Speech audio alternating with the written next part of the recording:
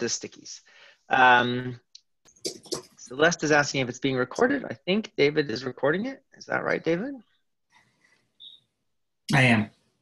Okay. Thanks Great. for the reminder, Celeste. So now what I'm going to do is I'm going to jump over to another part of the screen. I'm going to try to pull you all with me. So there is a, oh my, it's got very big. I'm going to try to shrink this down really quickly. There we go. That'll be better. Okay, because there's a, a certain amount of screen real estate we can all afford. Um, so the article I asked everyone to read is the original editorial to um, the new Humanistic Management Journal. The Humanistic Management Journal was launched by the International Humanistic Management Association. David is one of the editors. Uh, Michael Pirson, who often joins us, is another editor. He wrote the he wrote the editorial we've read. It was short, and one of the things it quotes right off the bat is this 2005 statement, the Humanistic Management Manifesto. And I, I trust that you've all read it, but maybe um, also looking at it now. One of the things I thought I'd pull out is how, what does this say to research? Because we are all looking at this issue from a lens of research. A lot of humanistic management actually started with a lens of practice. So the old humanistic management network that posted this in the first place had a huge emphasis on practice. You'll see some statements in here that emphasize practice, but it has implications for research too. So as we read this statement, and maybe we can try the sticky notes again, what are some keywords that jump out to you with respect to um, research? And there's no right or wrong answers here. I'm going to add a few as well. This is just getting going, and as you can see, um, we'll take that into questions as well. So feel free to speak up um, and feel free to post it um, you know, without saying anything, just on our little canvas here. But uh, you know, how does manifesto relate to things like research? So to model that, I'm going to say um, one of the things that I noted in the second paragraph is decision making is a focus of humanistic management, and that's also a focus of a lot of management literature that I've looked at or, or noted. So that's a keyword that jumps out to me with uh, research implications. We could look at decision making in this context, right? Any other spoken or um, neuralized responses to that?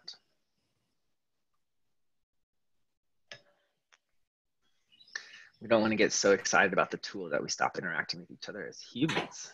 I, I'm trying to post a sticky note, like a little circle one, and I can't seem to make it do it. I'm not sure how. Really? Is anybody else having trouble making a sticky? So over here on the right, if you click on um, the uh, little, it looks like a sticky icon, you get these uh, toolbars and you can just drag it on, I think. No, nobody else seems to be able to do that. Why? Oh, do I, you know why? Because, um, because I, I see, I have different, so to use the tool, you have to be, at least I have to be in my browser, whereas I was looking at the Zoom window. Oh, shoot. Yes, no, you need to actually use your browser. All right, got it now. no to everyone else. I see a lot of other cursors flying around, so that's that's great. Um, here's somebody else who's got their their card going on the side. That's great. Um, human freedom, excellent. Yeah, absolutely a research question. Um, good job. Anybody want to start thinking about how you might ask a research question related to this. It doesn't need to be your own research question, right? Um, but how does the how does the focus of this manifesto potentially uh, spark questions that are questions we could research within sort of the paradigm our programs are encouraging us to think about research. Yeah, go ahead, please, Anu. Um, so I was uh, thinking, would we need a shift in paradigm? So one of the very basic, I'm sure it's very basic, research questions would be uh, dignity. Uh, elsewhere in the article has been defined as something that is above and beyond price or value. Um, one of the things we try and do in research is to, you know, uh, apply some kind of a measure and we are essentially saying that dignity does not have a measure. So that paradox um, how could we resolve it? Or how could we i don't know if it's the right way to put it but operationalize dignity uh, or make sure that it is kind of being you know included in the uh, research that we're doing. That's one thing that comes to mind. Fantastic. Can i just pull over here and say operationalize dignity as a question maybe I'll just say how you said how can we question. yeah. Well well asked. Does anybody have any either further complicating questions or or answers to Anu's question?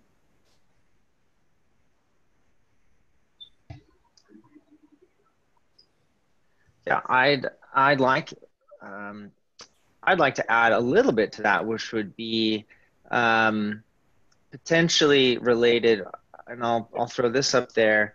Um, what assumptions um, does all research make about humanity?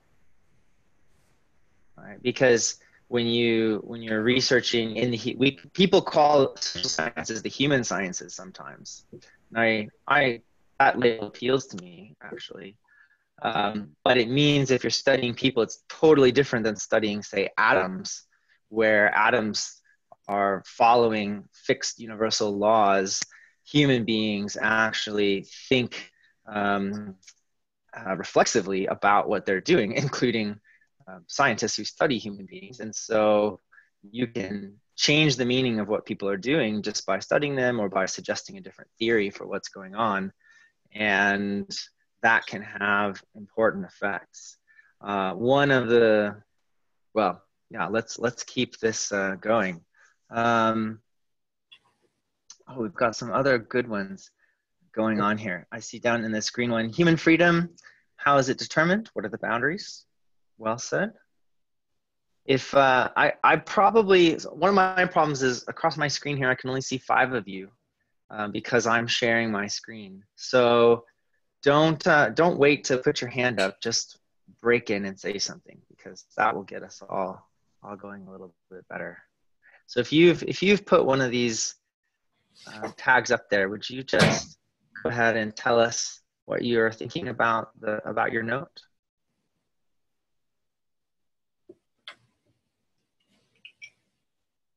I'll just up and say I I, I wrote the the little green circle that says you know how what are the boundaries on human freedom. Um, oh, great. And but I, you know, that to me, at least on the surface, I think veers back into that normative um, area, and I'm not sure exactly how I might be researching that, you know, in a more traditional way. Mm-hmm. Mm-hmm. So another another dimension that's worth kind of.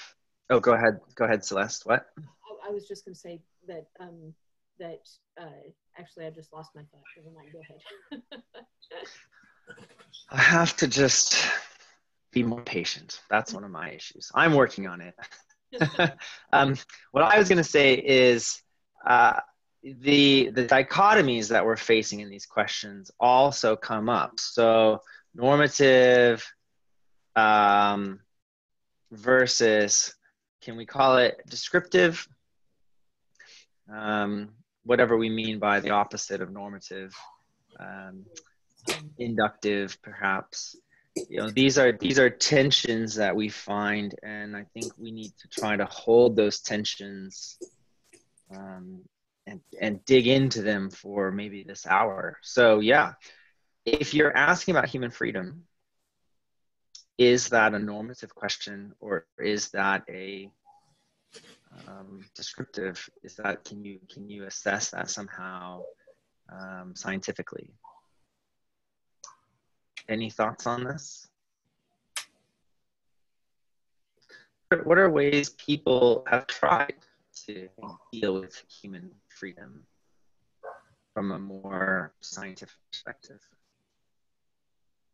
So I, I my my understanding is that this is is something that is more often uh, discussed in political science, in um, philosophy, uh,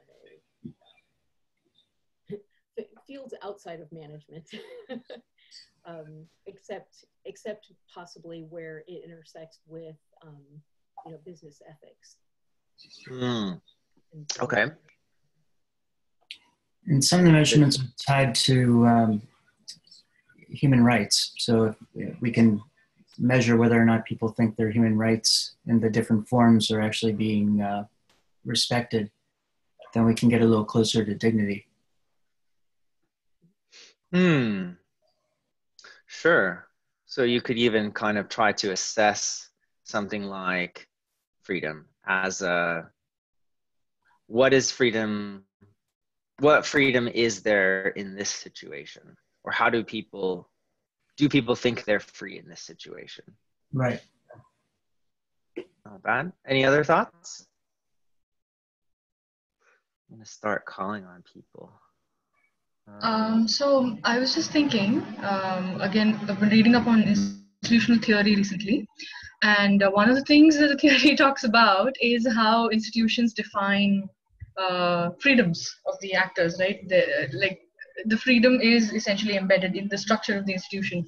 So another question could be um, what the institution of you know the the board, the corporate board, um, or society as a whole, the various institutions in which we are embedded, how they are interacting with each other, and is the idea of human freedom being uh, modified, or is it eventually modifying the idea of the board? Uh, because the questions we are asking um, uh, talk about a changing role for the boards also. Uh, so that's just a thought that I had. That's a great thought, Ani. Thank you. And we we actually talked a little bit about institution theory in our last call, so that's a really yeah, I missed that one. Yes, I read that, that though. Yeah. Oh yeah, yeah, right. So we it's um a little bit of a bridge, but you're right. Institution theory says that once people are are sort of settled in an institutionalized environment, that actually their whole concept of freedom is then pre-rational. It's taken for granted. And mm. so what they are, what they think of as their freedom to do and don't do, is is almost defined for them. So. Mm-hmm in an interesting way, institution theory's concept of freedom is being highlighted by this um, by this manifesto, and I wonder, mm-hmm. I wonder, Celeste, if that's part of what's also triggering your sort of uh, normative normativity detector. Mm-hmm. Is would we then go criticize institution theory because of this understanding of freedom versus a more autonomous understanding of individuals? You know, I, I was actually just sitting here thinking about this because I'm working on a paper right now um, about uh, one organization that's trying to shape the, the, the, moral foundation of a field, of a new field that doesn't necessarily have norms yet. Um, and so, uh, and they're taking a position that is very counter to what would be traditional in in or what we would normally think of as a, a freedom or right. Um, and in fact, they are flipping it around and saying, no, it is a human right to, in this case, they're talking about sharing genetic data and, and saying, no, we have a right to do this and we should be free to do this. When in fact, that could infringe on the freedoms of others. Um, but and so I'm I'm sitting here saying, well, so how do we how do we gauge what you know what is what whose freedoms you know end where and and Mm. what are the boundaries of and again this gets to like an individual versus collective um, question uh, and, but i'm not sure how what i'm working on necessarily uh, I, I, I think I feel a little confused as to how to take these questions that I'm, trying, I'm grappling with and look at them through this lens and say, how do I apply these ideas, um, uh, the humanistic ideas, to a more uh, traditional, you know, what you said, normal science type of Yeah. uh, where I'm supposed to just be looking at, oh, isn't this interesting what they're doing? And not necessarily asking, well, is this, sh- you know, should organizations be doing these things? Um, and, uh, you know, and perhaps, eh, perhaps maybe I bring in the humanistic perspective in the discussion, you know, at the end of the paper um, where where I've explored, you know, this this case of an organization who's doing this, that, and the other, and here are the mechanisms of by which they're trying to influence a field. And then in the discussion, I bring up the the humanistic uh, uh, notions of, you know, should should they be doing these things? I, you know, maybe that's one way to incorporate, uh, you know, some of these ideas. Totally. Yeah. Other thoughts on that? I mean, one one suggestion I have might be to take a step back and and the I know there was like no time I sent these things out on Friday. I'm really sorry about that, but I did attach a kind of you know overachiever reading and um, one of those articles by Dominic Mele talks about the history of humanistic management and he contrasts and you know this is a small part of his paper but he contrasts the human relations school.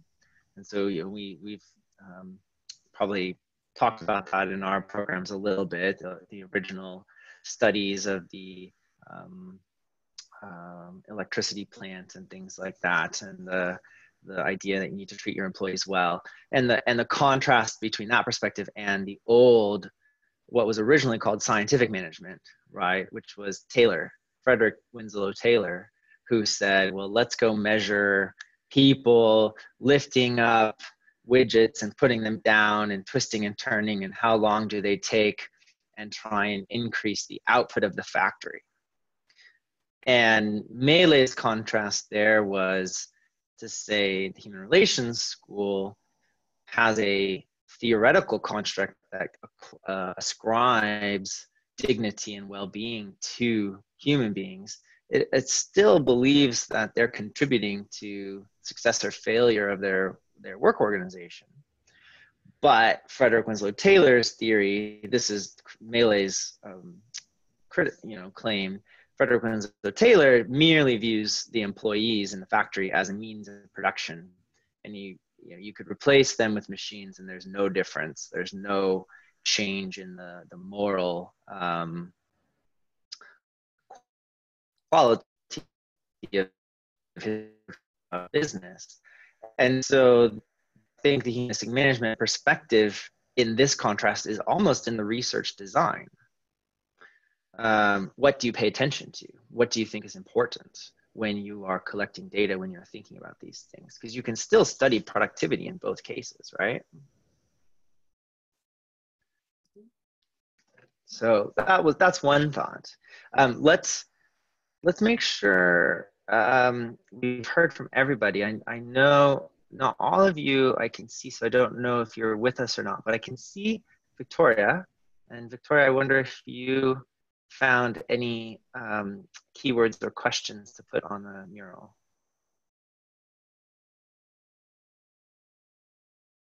Yeah, I'll do it without sticker at the moment. Um, I've been following it. I find it like from the freedom aspect quite interesting. Like as uh, Dierksmeier has done a lot of research in that field, um, dignity de definitely is uh, a very, very interesting concept. I don't know, from the practical field, um, I would, I don't know, I, I, I kind of think of kind of like what measurements or like how one can establish a structure of understanding different uh, concepts of dignity. So like, um, using the example of like a company being based in Germany or the US expanding to China and they might not grasp their like whatever they associate with with dignity or even like um one might not even have like the same word. Like a word might have you know like different compounds and they overlap in some ways and um different other ways. So um so far I haven't read about a method of how to approach these um, differences. Or like how to incorporate them or like how to um, yeah just kind of like what kind of methodologies to use to kind of like establish an understanding to actually um, evolve together in the sense of like you know improving scientifically um, values or like um, yeah, incorporating incorporating values in in one's uh, business activities. Yeah, I think those are great questions, Victoria. Thank you for that. Um, yeah, has anyone thought of a method that might work to study human freedom or dignity in a work environment, or even in two, like um, a Western country and China. Could you could you somehow investigate that?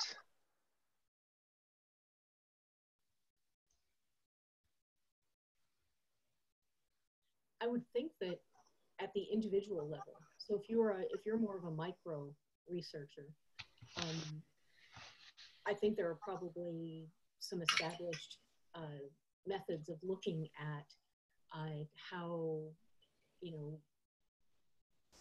whether people feel, feel autonomy or satisfaction or fulfillment or at, at the individual level, that's that seems pretty.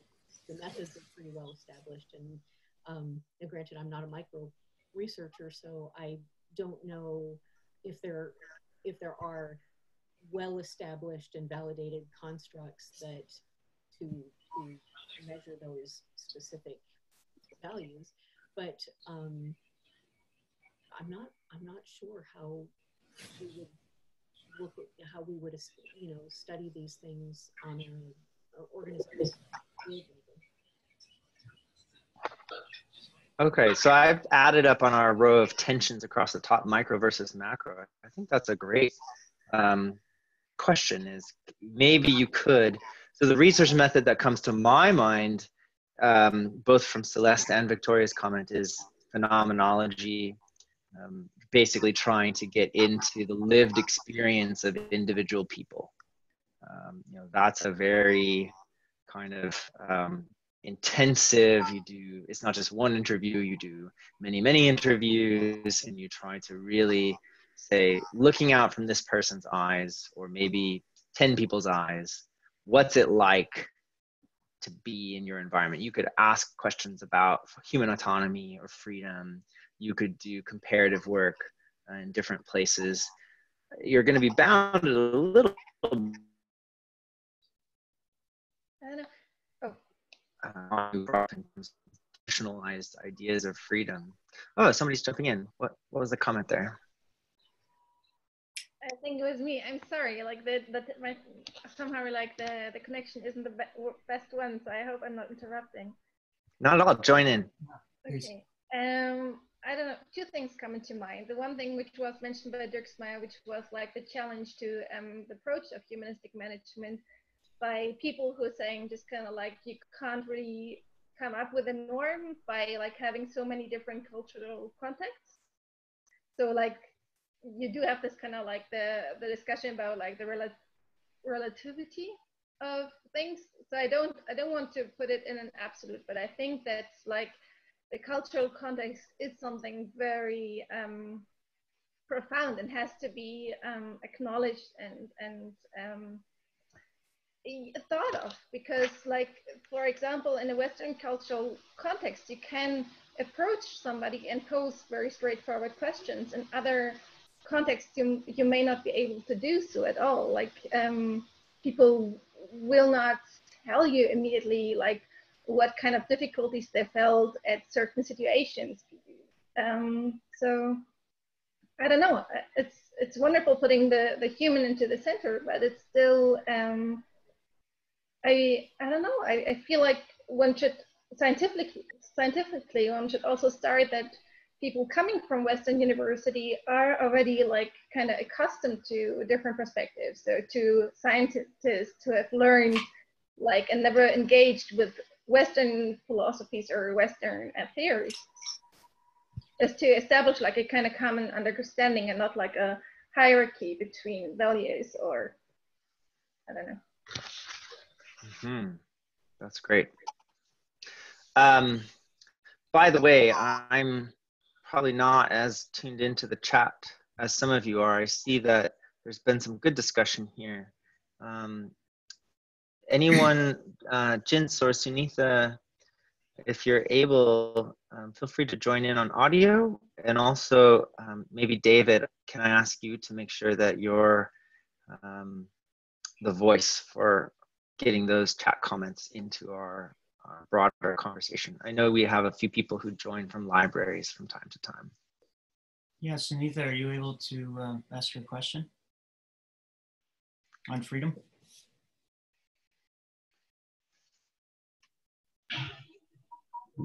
Okay, she can't. Um, yeah. Out loud, so she's wondering when we think of the word freedom, if it should be pegged against the question question does the freedom contribute to the well-being and flourishing and dignity of humanity because humanity is the ultimate end for humanistic management. And that, that's a good point. Uh, dignity is sort of the root behind promoting well-being and human flourishing.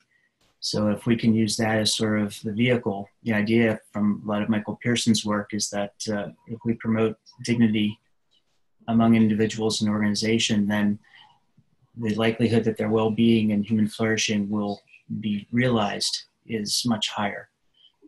So should we focus on freedom as sort of a proxy for dignity? Is is that um, is that where you're going with this, Sunitha? You can write in the chat. Hmm. That's a great idea.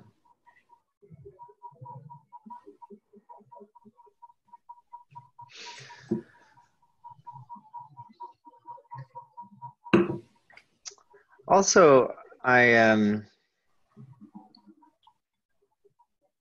oh, I had a great thought to share, but it's gone. It'll come back. Um, we'll while we, yeah, we'll please please continue your thoughts, Sunitha, in the in the chat. Yeah, I think it's an important question to get to. What what do we do with with freedom here?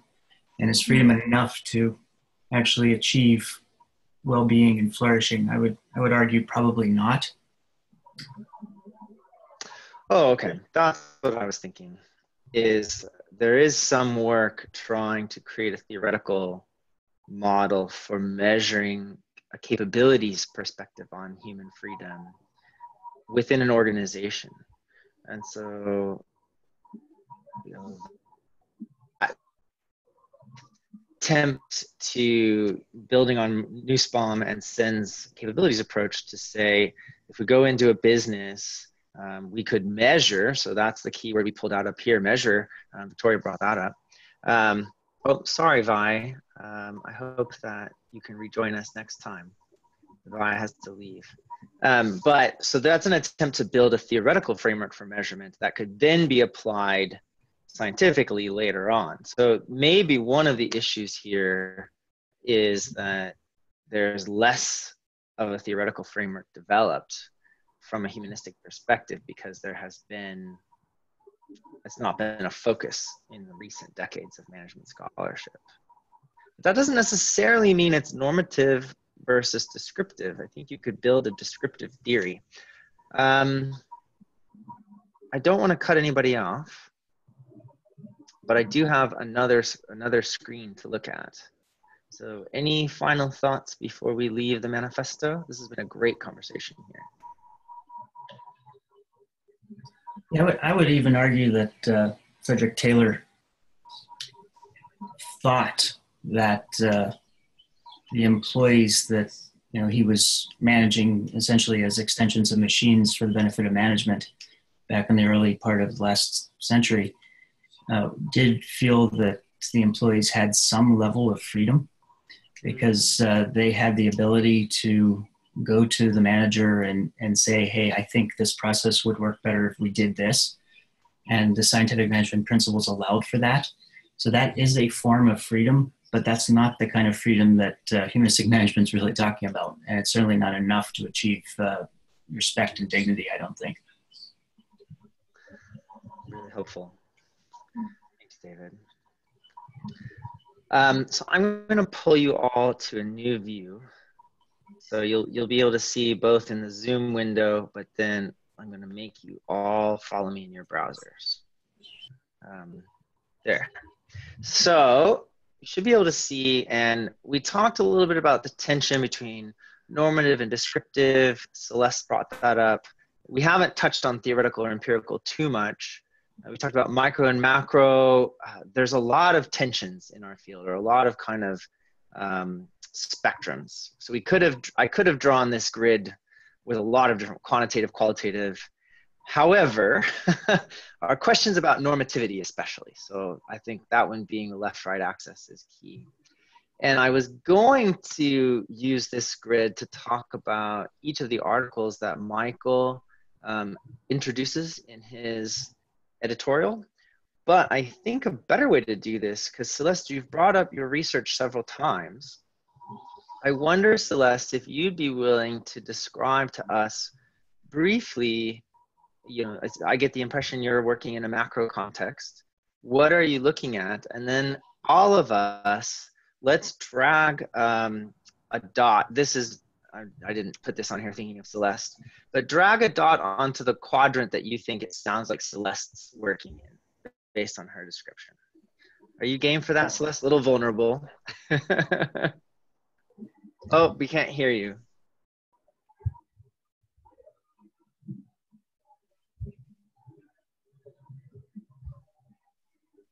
Can't hear you. Yeah, I'm not getting any audio. Is anybody else here, Celeste? Yeah, no. That's weird. Um, you're not muted in Zoom. I wonder if your PC is potentially muted. It was working just a minute ago.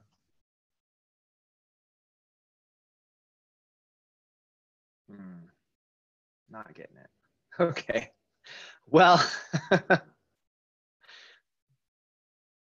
you don't have like something plugged in, do you? I think uh, Anu is suggesting your headphones. You know, might might use headphones. It may be my internet. Um, ah, no, I can hear you now. Oh, gotcha. I can hear you now. Oh, okay.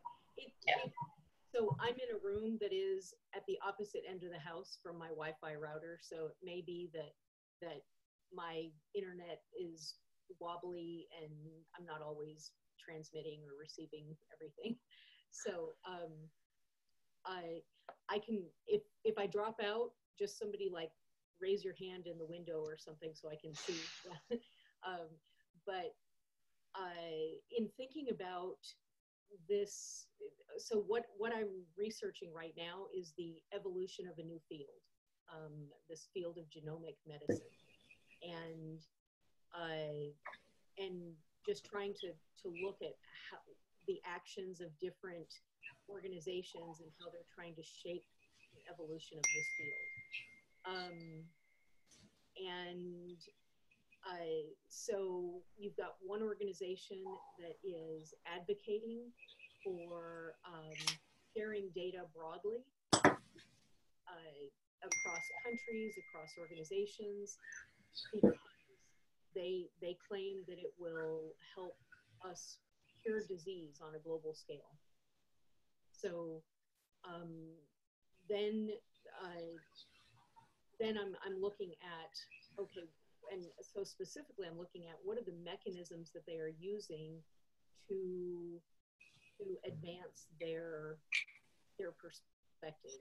and, and use that to create the foundational norms for this new field, which actually are um, in, you know, are, are, in opposition to social norm, our, our current social norm, almost globally around the world, is that is for privacy. That privacy is our right, not open sharing, and that, mm. um, and so they're saying, you know, privacy is is really much less important than sharing. Um, and so they're trying to establish these field norms um, by uh, by creating technical standards, by um, establishing using discourse to to normalize um, uh, a lot of you know, a lot of these ideas through scientific journals, et cetera, et cetera. So um, that said, um, I'm, this is this is obviously very much an an, an empirical. Oh, don't say, don't say, don't say. Okay. Don't don't tell us your answer. so everyone having listened to Celeste's research design, right, and knowing that these are continuums or tensions rather than yes or no, right? Do we think it's primarily theoretical, primarily empirical, primarily normative, primarily descriptive? Um, drag a sticky on to where you think what she's talked about probably goes. You can put your own sticky on Celeste. They're anonymous, so we won't know it's you.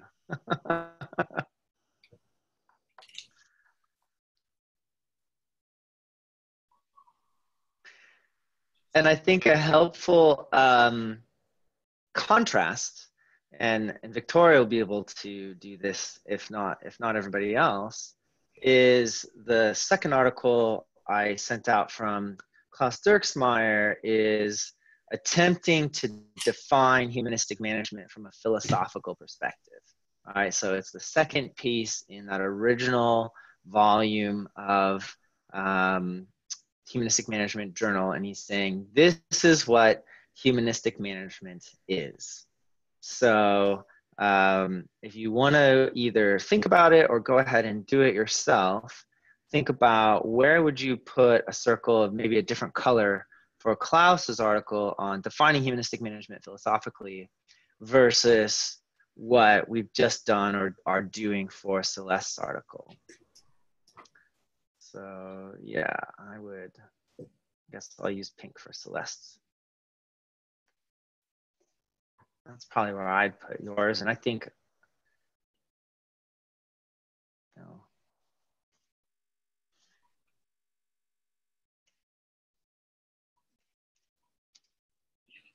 I put Dierksmeier way up there. Yeah. I like how we've separated the contribution and the research because, of course, you're making a theoretical contribution, right? Of course. But it's not an AMR piece. It's not. It's not only theory, at least not yet. Um, oh yeah, no, this is definitely not AMR. yeah, it's so another way of saying this is it phenomena based? Is it phenomena driven? Right? You're you're getting out there and you're you're you're engaged in the phenomena. So yeah, um, this is the tension we were trying to come here to talk about today, and probably time to do it. One of the exercises I thought we might try to do with this grid is to see of the seven or eight articles Michael introduces in his piece, do we think that some of those articles fit in different quadrants here? Because they're all in HMJ, so they're all sort of by fiat humanistic. But on those last two pages of his article, is he introducing articles that, based on that little paragraph, you know, we haven't had time to go read the whole issue. Are there are there pieces that may fit in, you know, maybe some of the boxes that Celeste research fits in? And if so, why do we think that's the case? maybe maybe we can discuss it um, rather than trying to to do a lot of little dots. But you know, do we think that there are articles in HMJ that are phenomena driven, describe um, mechanisms that are at work out in the real world? You're nodding, Ani. What do you think? Not normally, yeah. I'm just taking in the question and trying to see uh, what might fit where. Ah, okay. It's a good question. You're affirming my question. I thought it was a good question. I, I thought about it for a while.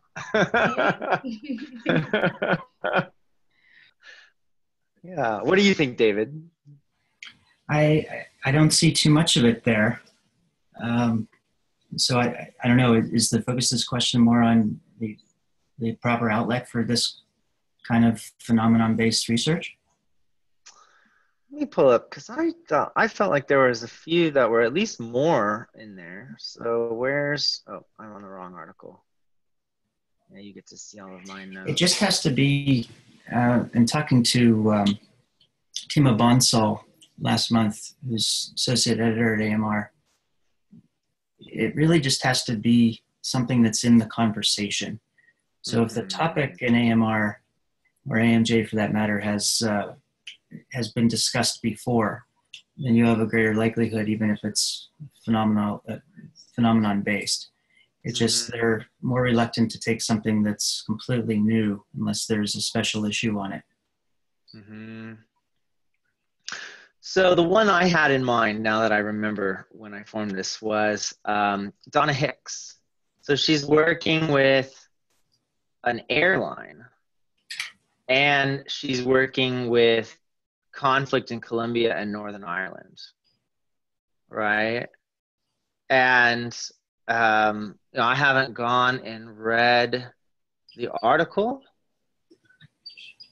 but my sense is she doesn't come into Northern Ireland and say, right, here is how you guys need to um, include human dignity in the way you do stuff here. Um, I'm guessing that she does a lot of listening and observing how people themselves are relating to those ideas. So that was that was um, one that I thought might go in kind of the descriptive side. I don't know for sure. And and David, you probably edited these, so you know too much. No, certainly not. But uh, no, that that's a very good example, actually. And Donna actually Uh. worked uh, pretty closely with Michael. ah, okay, okay, yeah. Any others? People are observing. Certainly, um, Sandra up here has um, interviewed 28 people. Um, so that's kind of empirical, right? But then she's talking about uh, reforming business education. So that's kind of normative, right? So I, I probably would put that one in the bottom left quadrant on our on our little guy. It's appropriate. Yeah. Yeah, both of these are appear to be qualitative research. I don't see a lot of quantitative research. Celeste, are you doing quantitative or qualitative methods? Sorry, still can't hear you. This takes a long time for the sound to make it from her room to the other end of the house where the router router is. Hmm. Yeah, we got no sound. That's all right, Celeste. Sorry. Thank you. You're qualitative. That's what I thought. Um, you know, so an- another research method I thought of that seems very humanistic is is Ann Langley's process research, and I know she's presented in our in our forums, right? So she gets in there, she says people are doing something, but we haven't necessarily worked out what leads to what leads to what leads to what, and what does it all mean to them. So that's bringing the people in very much, and and maybe a framework you choose to use, Celeste. Sounds like you're in a really interesting, you know, stage of ferment right now, and you're going to have to collect data and come out with an approach, but you may have a process model at the end, right? So that could be very humanistic, potentially. I'm wondering if that could be a subject of a future PhD reading group too. Process research? Yeah, Mm. because that would be very uh, useful to this group and to humanistic management researchers anywhere. Mm. Makes sense. It would take a lot of pre-reading on behalf of everyone, I think, including myself. True, true. Well, maybe we get uh, Anne to come, and she can Yeah, she can do all the hard work, and we'll sure. we'll do we'll do a little bit of the pre-reading. Um, we're getting. We always want to say the last few minutes for feedback.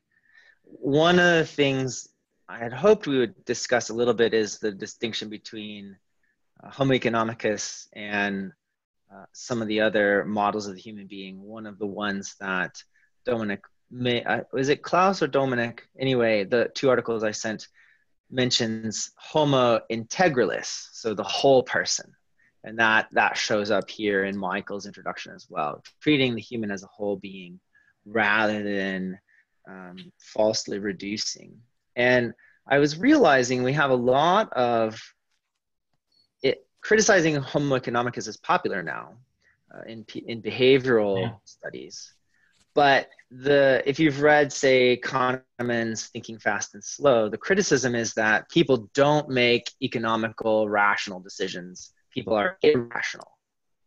And that's not the point of humanistic management. So it's it's almost an orthogonal criticism which says it's not that people are irrational or don't make economic decisions, it's that people have a lot more going on in their values and in their in the meaning they draw out of their life and their social behavior that theories especially macro level theories, boiling people down to kind of uh, economic or means ends, self interested behavior are just fundamentally missing what people do. And I think that can be a, quant- a quantitative person needs to think about that issue when they are designing their research or working with their theory, right? Ah, but that's provoked Celeste. Great. Going back to the question of what we can measure. Uh, that's provocative. Anybody want to respond to Celeste? She says, We study the things we can measure. It's easier that way, right? That's I mean- where my initial question was uh, coming from uh, Yeah. about how we can operationalize or try and measure dignity because I think in research so far it's very, it, like, yeah, as David said, it's just easy, you know, to study what we can measure, and there's so much of it. Um, so it's very hard to get to things that um, cannot be measured as if or, or even defined, as you're saying, and I'm completely with you. Uh, you know uh, things like dignity are extremely uh, they're experienced. Um, and we had this debate at some point for example if if an oppressed person is not feeling oppressed then is he truly oppressed you know? And in societies like ours um, let's say the emerging economies the cultural and social structures going to victoria's point are such that people have uh, you know a meaning to their place in the social structure and they don't see it as not being dignified. A lot of people do dirty work, you know what uh, uh, Jens was saying earlier. Um, one of my seniors is doing a thesis on um, uh, how people cope with the stigma of dirty work. Uh, but there are all these complications. I don't know if people realize that there is not uh, enough dignity in what they are doing. So who is defining, um, you know, dignity or what it should be for uh, a, a group of people? Um, there are all these complications so i think which is why it's just easier to study things that we can measure Hmm. Hmm. I mean, I wonder if with the right lens, you could take back some of the data that there may be data sets out there that that point or hint at this. So when I Hmm. worked at a big company, there was regularly questions, you know, survey the whole entire company. Um, Hmm. I feel comfortable raising concerns to upper management. So that goes to what David was saying. Or Hmm. my my ideas are valued in this company. I um, enjoy working here? What are some of the so there are actually it, it's hard to get some of that data because companies keep it close, Mhm. but there are at least surveys out there that get at how people are are do they feel that dignity is accorded to them in their Mhm. work environment because companies Mm. companies know that when those scores go down things are Mm. bad Right. Hmm. so that might that might be another dimension to look at for operationalizing it could be improved on Hmm. Right. Okay. we're at time. Um, I'd love it if Celeste would give a final typing sentence or, or word, and since this was her question, drawing drawing the um, session to a close, and then also using Mural. Um, I don't care where you do it. If you guys would leave um, a thought about whether you like this tool and whether you thought it was useful for our discussion or, or um, maybe a distraction. Good.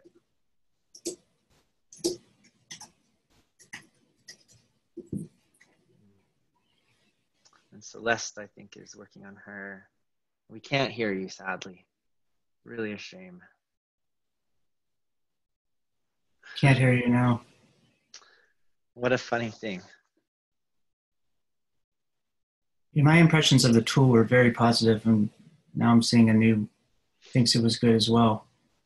If any of you had a problem with it, uh, please let us know. But I think this was uh, a good way to visualize our discussion.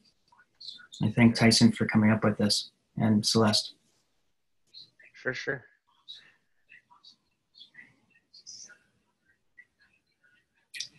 Let me just do a quick plug, if you wouldn't mind. Um, next Monday, the 3rd, Anu is actually going to be presenting her research to our PhD network at noon Eastern Time, the normal uh, first Monday of the month. So uh, I invite you all to come. I'll be sending out reminder invitations through Eventbrite. Please RSVP so we know um, how many to plan for. Great. All right. I think Celeste is, is typing, and so that will come right in. But first of all, uh, thank you, Jens and Sunitha, for joining us. And we'd love to hear from you as well. Um, you know, how included you felt, how well you thought it worked given the visual tool. And then um, Anu, Victoria, Celeste, David. This has been, um, And this this was very important for our future meetings too. So I'm glad Celeste reminded me to record this. So this will be posted on our website, and we can build on this discussion, so you can refer back to it.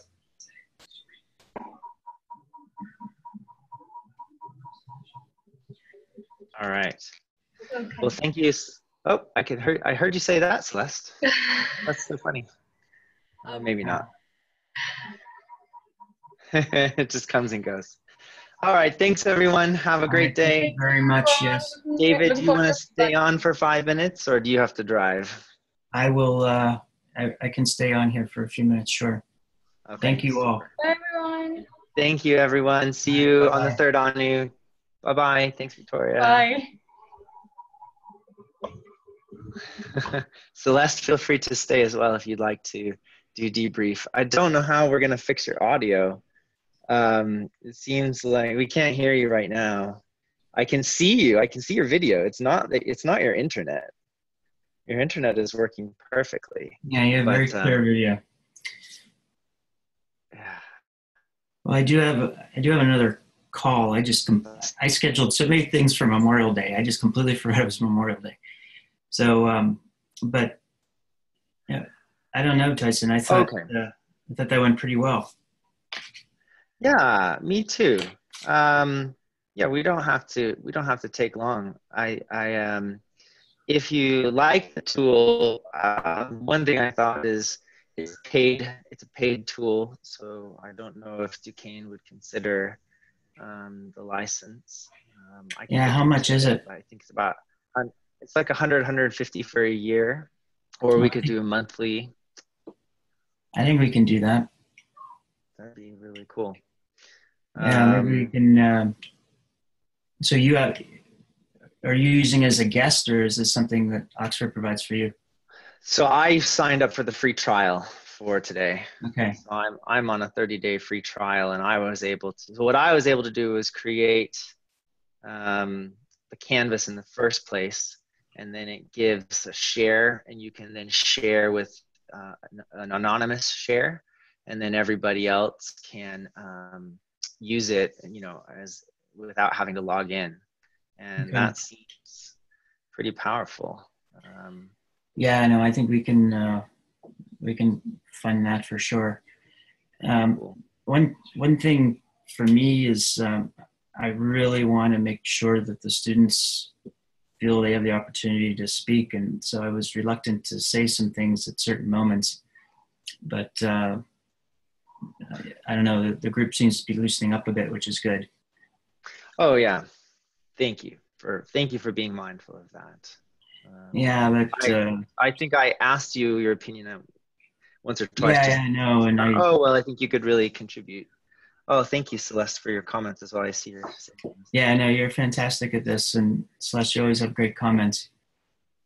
No, thank you, Celeste. You were awesome as well, and um, I, don't think we've necessarily settled the question, right? I think this is the that No, but- have to drive into, but um, you know, Well, maybe uh, so. We're going to do another one on June 10th.